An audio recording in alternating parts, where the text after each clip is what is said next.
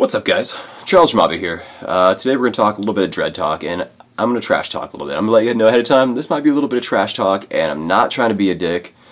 Uh, I'm not trying to be like a dread elitist but here's I'm kind of pissed off a lot of people dreadlocks and it's not it's a personal thing and like here's the thing it's your hair do what you want rock it out um, do your own thing it's cool you know if you don't have dreads do, do your dreads however you want it's your hair it's your body do your thing but my topic today is natural free-form dreads. And I'd like to start off by saying, what the actual fuck?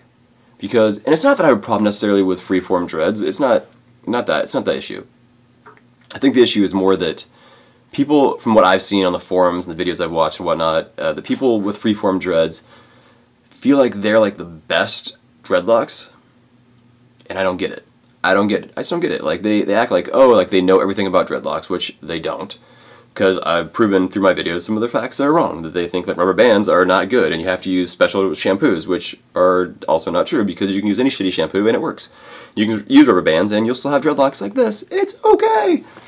But it, it just really drives me nuts because I see people that are giving out information on dreadlocks and like chatting themselves up. Like basically like, hey, good job buddy, I'm so great! And they have these like really like messy, nappy, put it in like, so I'm white. I'm you know for the most part I'm white. I mean I have tan now, but I'm mostly white.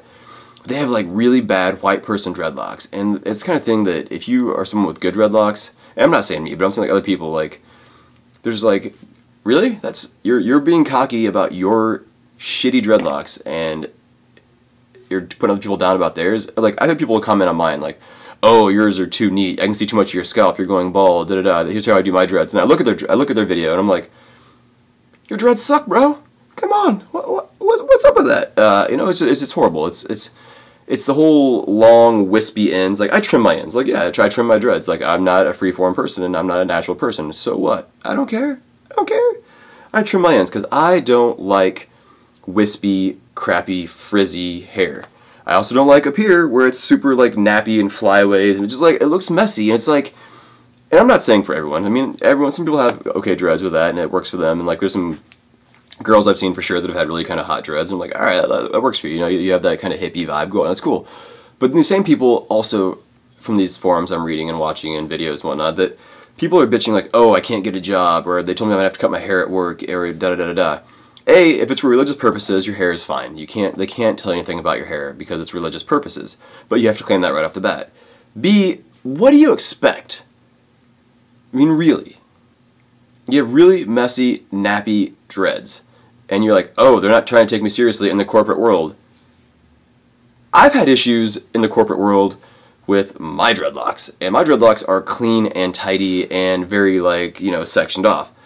If they're not taking me seriously, there's no way in hell they're going to take you seriously. And maybe, like, you know, if you work in the corporate world on a movie set and you're like a grip or a best boy or whatever, then uh, they're not going to care. Or you work in McDonald's or at a record store, they're probably not going to care. But don't get all high and mighty with your nappy dreads and tell people that they're doing it wrong or that they shouldn't use this shampoo, they shouldn't use rubber bands, or they shouldn't do this or that, or they should. They, you're not. Don't get all high and mighty. It's annoying to people like me, especially me. It's annoying to me that that people get all high and mighty about their really nappy dreadlocks. And like like I said, it's a personal preference on my point. I like my dreads the way I like my dreads, and I'm sure you like your dreads the way you like your dreads.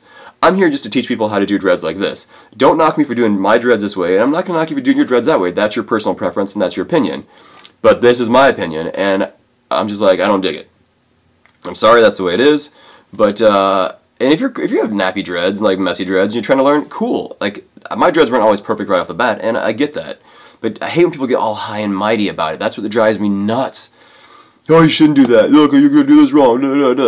Look, you can offer information, that's cool. You can offer opinions, and you can try to help out, but don't criticize people about doing something wrong, especially when you don't know the right answer. Like rubber bands are not going to work; they're going to mess up your hair, or you can only use dread shampoo, or only use stuff with what's what's a big one without um, conditioners, or only use hair, or only use shampoo with that's uh, residue free. Like what?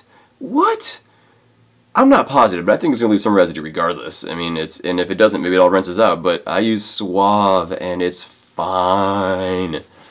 So that's just my little rant, and I'm sorry if I offended people, and I don't mean to offend, but it's just, I'm sick of it. Like, people are just going off on their high horses, and it's like, no, no, I'm to push you off your high horse and tell you how it is. Um, which is my opinion, but sorry. Not sorry. you can like and subscribe below. You can follow me on Instagram, Charles Yamabe. You can find me on Facebook, Charles Yamabe. You can email me at charlesyamabe at gmail.com. I always forget one. There's only three. My brain is not so good. That's alright. Um, that's all I got, and thanks. Love you guys.